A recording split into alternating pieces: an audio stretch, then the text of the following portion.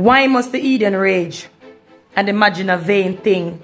Child of God, the Lord wants you to know too much. Enough is enough. Too much. Too much wickedness. Too much beguiling. They have tried to take your kindness for weakness. They have been sabotaging you. You have been working like an elephant and you have been eating like an ant. The Lord said, Why must the heathen rage? And imagine a vain thing. I'm going to come in agreement with you. And this is what the Lord is instructing me. Every single thing that I say from my mouth that resonates with you, I want you to say amen. Whether you want to say it from your mouth or you want to write it in the comment, but just stand in agreement. The Lord says He wants us to come in agreement for our finances because there are some powers that are sitting on so many people's finances. From witchcraft powers to your very own sin, to things from your region, to things from a generation. And they're fighting against your hard work and your success. But in the mighty name of Jesus Christ of Nazareth, Jebonde Kotona, Rebok Nakata, O ye gates, lift up thine head.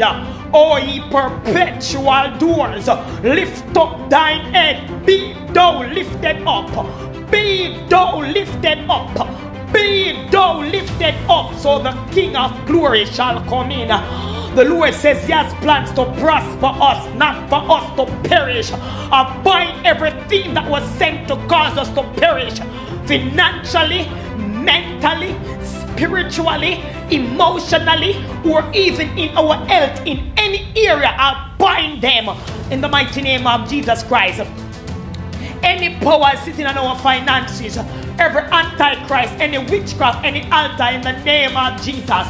Jebonde kotona, rebo nakata, ribiande kotona, rebesa, jebonde kotonde. In the mighty name of Jesus, I send blood and fire, lightning, thunder, brimstone, fire upon every satanic altar operating against our wealth, our success, our breakthrough.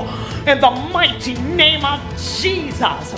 Hallelujah, mighty God. Anyone that collected money from us, anyone we helped, anyone we paid, anyone we did business with, that tampered with our money, anyone that blessed us with satanic money to try to close our windows and our opportunities.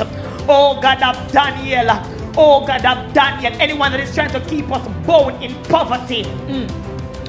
I bind every spirit of poverty. I curse it in the name of the Lord. And I set it on fire in Jesus' name. Mighty God of Daniel. The Lord says, Who the Son sets free is free indeed. My God Almighty, you said you know the plans you have for us, plans to prosper us, mighty God. Mighty God, you said you called us to give us life and you call us to give us life more abundantly. So I ask those powers by whose authority does they fight us and try to hold us captive? By his stripes we are healed, and who the Son sets free is free indeed. By whose authority does they hold your prosperity captive, your wealth captive, your success captive? Curse them in the name of the Lord. I curse them in Jesus' name. I curse them in Jesus' name. I curse them and I decree, I declare, anywhere our finances has been held up, it is now loosed. In the name of the Lord, somebody say that. Anywhere our finances has been held up, it is now loosed. In the name of Jesus, I send fire to anything sitting on our finances. For God's glory's sake, for God's glory's sake, every poverty that has been fighting us looses us now Shame and disgrace has been fired into the camp of the adversary. They will neither laugh at us and say our eyes have seen it, but weeping and mourning has become their portion. The Bible says the thief shall repay seven times. So I decree and I declare everything they have stolen, they repay us seven times seven what they have taken from us. In Jesus' name. Somebody come in agreement with this prayer for your finances. And when you get your breakthrough, please come and testify. God bless you. In Jesus' name we pray. Amen, amen, and amen. Selah.